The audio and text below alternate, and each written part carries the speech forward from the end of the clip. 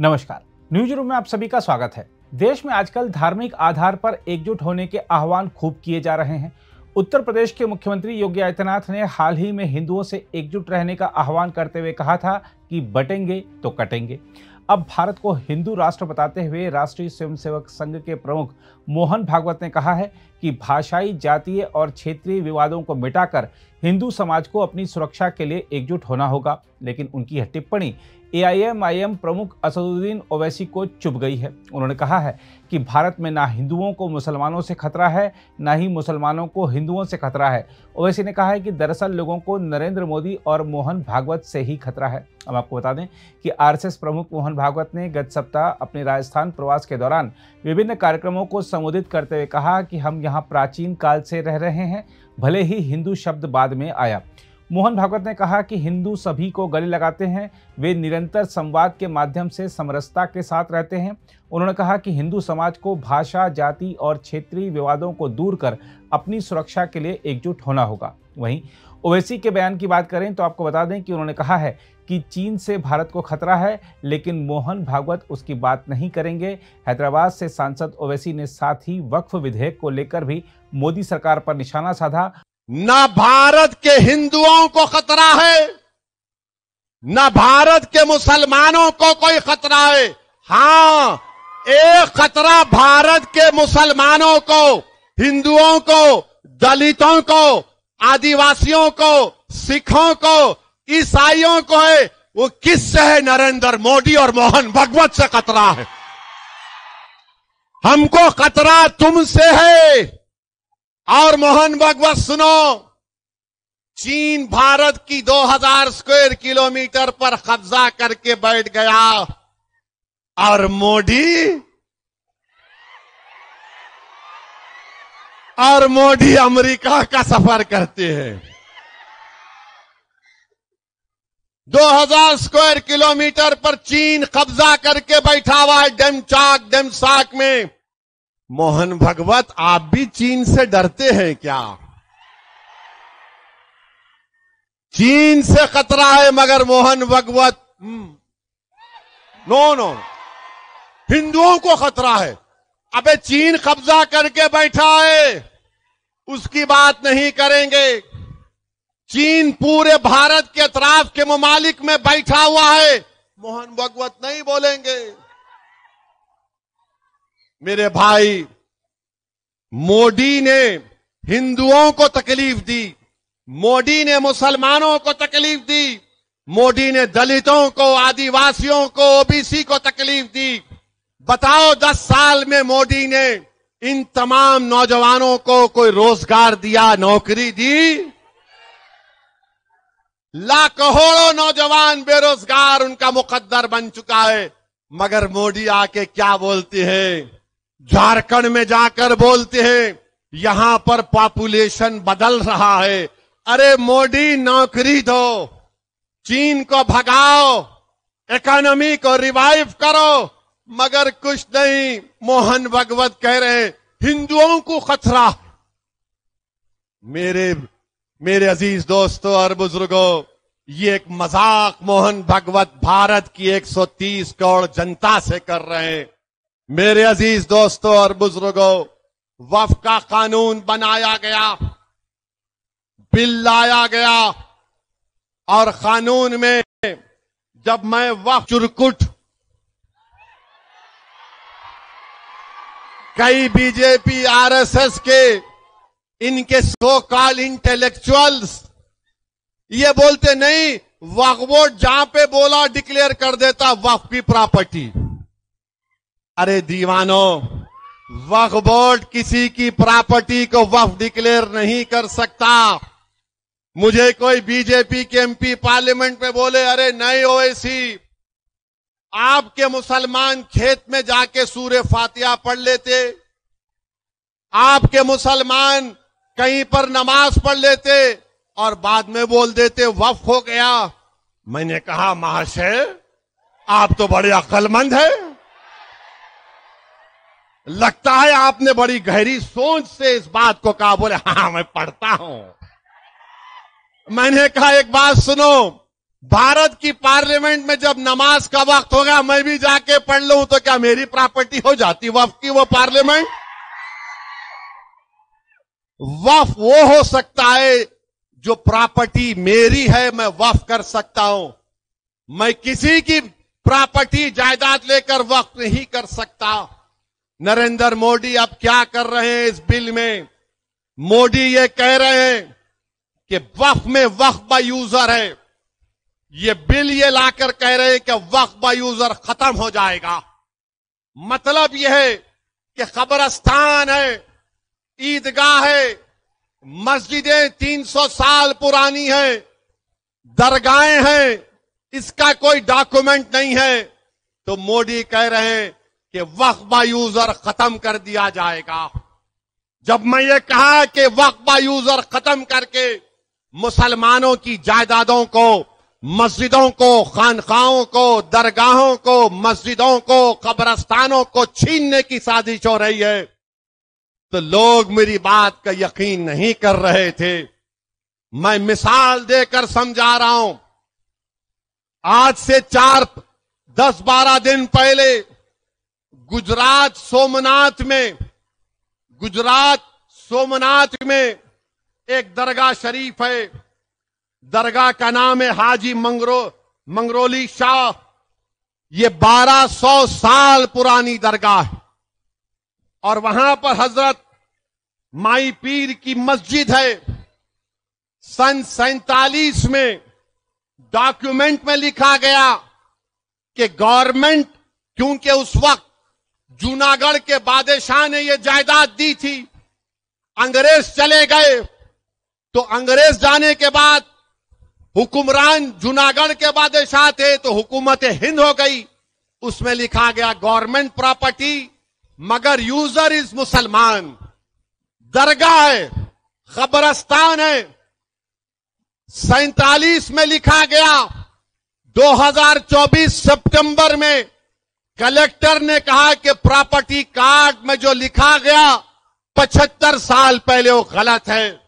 Collector ने मुसलमानों को नोटिस दी और कहा कि आओ, मुसलमानों ने कहा, हमको टाइम दो, हम डॉक्यूमेंट बताएँगे। उसके बाद मामला वक्त ट्राइब्यूनल गया। वफ ट्राइब्यूनल मामला सुन रहा था। तो कलेक्टर ने सुबह सुबह तारीख आपको बता रहा हूँ, चेक कर लीजिए। कलेक्टर, वहाँ के मुकामी कलेक्टर ने 27 तारीख को 27 सितंबर 28 सितंबर को सुबह पाँच बजे बुलडोजर लाकर रात में कमेटी के लोगों को बातचीत करने के बहाने बुलाकर गिरफ़्तार करके 1200 साल पुरानी दरगाह और मस्जिदों को खबरस्तान को शहीद कर दिया। ये पावर कलेक्टर को मिल रहा है इस बिल में। होश में आओ मुसलमानों, जो मुसलमान मोदी के इस लाए बिल की तायद कर रहे हैं मैंने अपनी तकरीर में कहा था कि जब तुम्हारे बाप दादाओं की खबरों को मिसमार कर दिया जाएगा, तब तुमको तकलीफ़ होगी। आज हम देख रहे हैं कि सोमनाथ में हाजी मंगरोल शाह की 1200 साल की दरगाह को, जबकि सुप्रीम कोर्ट ने फैसला दिया था कि किसी भी जगह पर डेमोलिशन नहीं होगा, मगर उसकी खिलाफ वर्जी कर दी गई।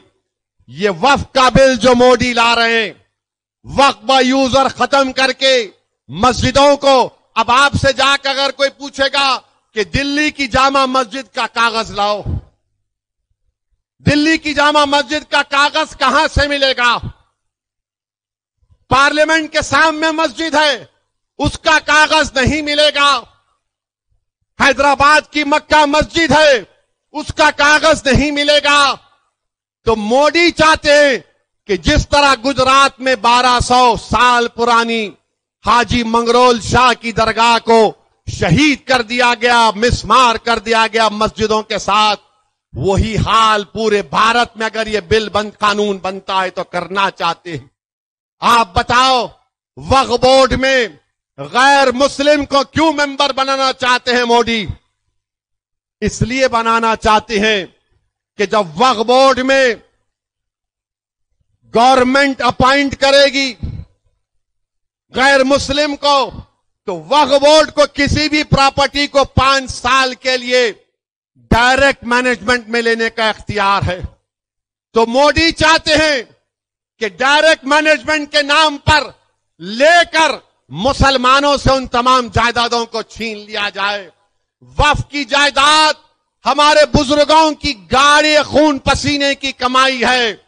गवर्नमेंट ने हमको नहीं दिया। मोदी चाहते हैं उसको छीन लिया जाए।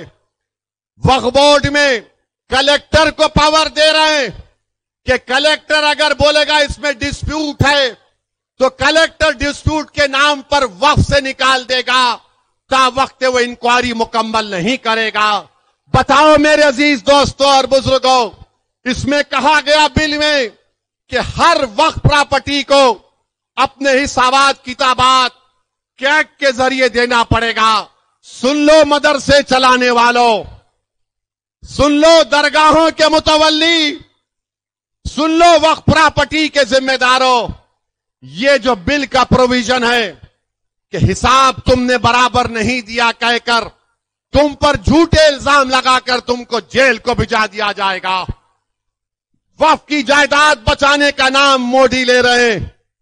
अब मौजूदा कानून ये कहता है कि अगर किसी को कोई भी अगर वफ की जायदाद को बेचता है तो उसको गलती से झूठे तरीके से तो दो साल की सजा। नरेंद्र मोदी बोल रहे no two years only sweet six months दो साल नहीं, छह महीने। अभी नॉन अवेलेबल है। फ़र्स्ट मजिस्ट्रेट के सामने जाना चाहिए। मोदी कह रहे नथिंग डूइंग अवेलेबल तुम जायदाद बेचो, जायदाद फूक दो, मैं हूँ ना तुमको बेल देने वाला। मेरे भाई एक एक चीज़ लिमिटेशन एक्ट अच्छा ये बीजेपी के लोग बोलते, ये वक्बा यूज़र नहीं है, सिर्फ़ मुसलमानों में है, को बता रहा हूँ। तुम हिंदू लॉ की किताब लिखने वाले का नाम बी के मुखर्जी है। बी के मुखर्जी की किताब पढ़ो, उसमें लिखा हुआ है कि हिंदू धर्म में भी वक्बा यूज़र है। हिंदू धर्म में बी के मुखर्जी की किताब कानून की किताब है। ओडिशा के हिंदू एंडोमेंट बोर्ड में बाय यूसेज लिखा हुआ है। आंध्रा के, तमिलनाडु के, तेलंगाना के हिंदू एंडोमेंट बोर्ड में लिखा हुआ है। और संगी लोग बोलते, नहीं नहीं, खाली इस्लाम में है, मुसलमानों में है। अरे, तेरे कान में फूल होगा, हमारे कान में फूल नहीं है। तेरे दिमाग पर पर्दा पड़ा होगा, हमारे दिमाग पर नहीं है। लिमिटेशन पीरियड है। कोई भी वफ की प्रॉपर्टी पर लिमिटेशन कानून अप्लाई नहीं होता। मोदी बोल रहे अप्लाई होगा। Hindu endowment board section 123 Telangana का पढ़ो limitation act will not apply on Telangana Hindu charitable endowment board मर मोदी बोल रहे हैं लिमिटेशन एक्ट अप्लाई होगा क्यों अप्लाई होगा क्योंकि जो 12 साल से किसी वफ की जायदाद पर काबिज है तो मोदी उसको मालिक बनाना चाहते हैं और नरेंद्र मोदी मुंबई में जो मुंबई की सबसे ऊँची बिल्डिंग है सबसे ऊँची बिल्डिंग है। सबसे ऊँची बिल्डिंग है। वो एक यतीम खाने पर बनाया गया था। वफ के यतीम खाने पर बनाया गया था। इक्कीस करोड़ रुपए देकर उसने खरीद लिया। और आज लोग बोलते कि उसकी बिल्डिंग की कीमत करीब 2000 करोड़ के 1500 करोड़ की है। तो मोदी उसके बेटे की शादी में गए थे। गए थे। तो मोदी बोले, मैं शादी में गया तो दूल्हे के बाप को तोहफा देना है, यह कानून लेकर आऊँगा। जायदादें छीनने के लिए नरेंद्र मोदी इस तरह का गलत कानून ला रहे हैं। नरेंद्र मोदी, आपको इस्लाम से इतनी नफरत क्यों है? आपको मस्जिदों से खानकाओं से नफरत क्यों है? तभी तो आप इस तरह का गलत बिल पार्लियामेंट में लाए हैं। अरे वक्फ बोर्ड को ताकत दो। तो जो खाबिज लोग हैं उनको निकालने का पावर दो समर एविक्शन पावर्स जो हिंदू एंडोमेंट बोर्ड में, हिंदू एंडोमेंट बोर्ड के कमिश्नर के पास पावर है कि किसी भी प्रॉपर्टी को काबिज को निकाल कर फेंक सकते हैं। किराया बढ़ाने का पावर दो। मगर मोदी नहीं देना चाहती है। मेरे भाई, होशियार और चौकन्ना रहिए। All India Muslim person law board अगर आपसे कहेगा, हमसे कहेगा कि इस बिल के खिलाफ हमको एहतजाज करना है तो क्या आप पुरमन एहतजाज के लिए तैयार हैं? आप एहतजाज के लिए तैयार हैं? हाथ उठाकर बताइए कि आप एहतजाज के लिए तैयार हैं। और नारा लगाइए मेरे साथ, ताकि मोदी को मालूम हो जाए कि तुम्हारे इस बिल को हम रिजेक्ट करते नारे तकबीर! नारे तकबीर! मेरे अज़ीज़ दोस्तों और बुज़ुर्गों, एक और अहम बात जो मैं आपसे करना चाह रहा था, अभी खत्म नहीं हुआ, कहाँ जा रहे बैठो अभी। नहीं, घर से फ़ोन आया, कहते, जल्दी आते, नहीं आते तो रहे भाग रहे नहीं नहीं नहीं आया ना चिचा फ़ोन। नहीं ना आया भी तो जाके थोड़ा सुन लो। दिल का मामला है। मैं एक और अहम बात आपके सामने करना चाह रहा था। जो कुछ फलस्तीन में हो रहा है एक साल कल हो जाएगा। एक साल कल हो जाएगा। चालीस हज़ार से ज़्यादा फलस्तीनियों का कत्ल बेंजामिन नेतन्याहू की हुकूमत ने किया। जिसमें से दस हज़ार बच्चे हैं मासूम। जिसमें से बारह हज़ार के करीब खवातीन हैं। और इन चालीस हज़ार को छोड़कर दस हज़ार लोग बिल्डिंगों के नीचे अभी हैं। बिल्डिंग्स के नीचे हैं लोग। मेरे भाई, ये क्यों इनको मारा जा रहा है? इसलिए फलस्तीनियों को मारा जा रहा है। इसलिए कि वो मस्जिद अक्साल खुद शरीफ की, बैतुल मुकद्दस मस्जिद अक्सा के तहफ़ के लिए खड़े हुए हैं।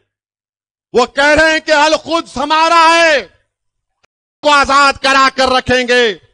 इसीलिए बेंजामिन नेतन्याहू की जालिम हुकूमत ने इन गरीबों को, मजलूमों को, इन बहादुरों को चालीस हज़ार से ज़्यादा को जो मस्जिद अक्सा की बाजियाबी के लिए, बैतुल मुकद्दस की बाजियाबी के लिए पचहत्तर साल से लड़ रहे एक साल में चालीस हज़ार से ज़्यादा फलस्तीनी मुसलमानों का कत्लेआम इस शैतान बेंजामिन नेतन्याहू ने किया।